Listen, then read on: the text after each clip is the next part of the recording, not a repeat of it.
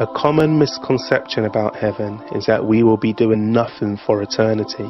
However, the Bible tells us that our bodies will be changed and we will serve God forever.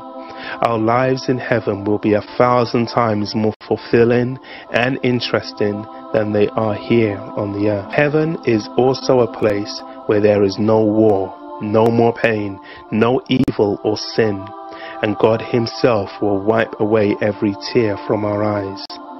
Bible tells us that only the righteous will be in heaven and the wicked will not be allowed to enter.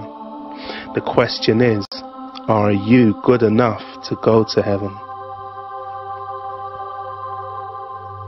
The fact is, none of us want to suffer in hell, and we all want to live in the beauty of heaven.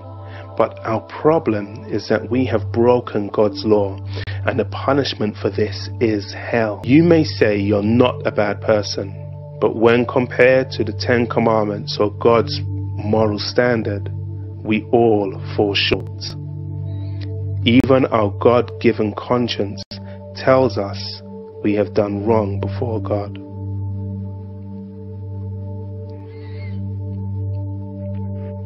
As we have said before, God is holy and will not tolerate sin or rebellion in his presence. And because he is a just judge, he must punish sin.